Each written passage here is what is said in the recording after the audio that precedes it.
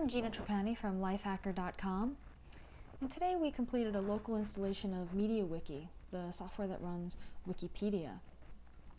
In this short demonstration I'm going to go over how to start adding and editing information uh, to your personal local Wikipedia.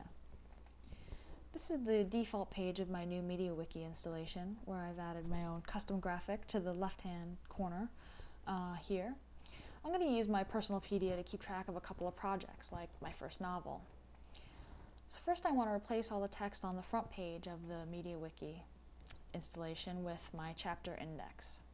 So I'm going to hit the edit button at the top of that article page, and you can see that MediaWiki uses special markup to format the text on its pages. I'm going to delete all the text that exists right now and start adding in my novel chapter index. So you see I use the two equal signs to add a header, well, the tentative title of my masterpiece, The Great American Novel. And now I'm going to start adding chapters using asterisks to uh, format them as list items. I'm going to list out a few chapters here. Of course, this is going to be a romance.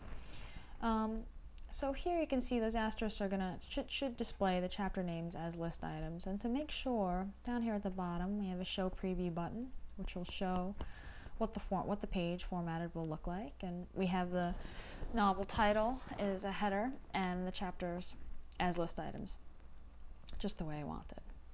So here I'm going to save the page because I'm happy with that and I've got the beginnings of my my chapter index here. I realize there are a couple of uh, chapters that I'm missing here, so I've got another edit button right by the header, which will just apply to this section of the page. Um, so I'm going to hit that edit button, the novel section, and I'm going to add in a few chapters. First, I'm going to make chapter 3 a face insurmountable obstacle, because every great novel has an insurmountable obstacle. And I'm going to make chapter 4 they overcome obstacle. Then I'm going to change the happily ever after to chapter 5. And I'm going to save my edits.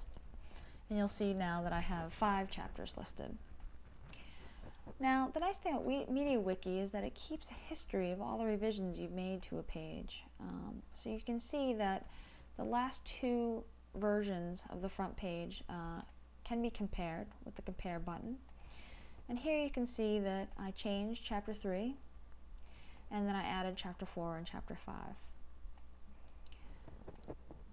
So MediaWiki keeps a continuous history of text on a page.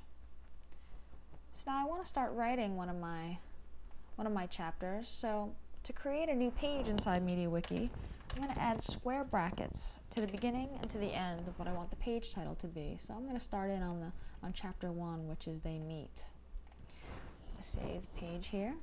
And you can see that They Meet is now a red link, uh, red because the page called They Meet hasn't been created yet. Let's go ahead and do that by clicking on that page. And I get kicked into edit mode for the They Meet page immediately. So I'm going to start adding text to my They Meet page.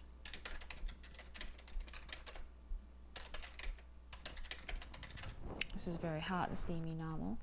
Uh, so I'm going to save my first sentence of chapter 1, They Meet.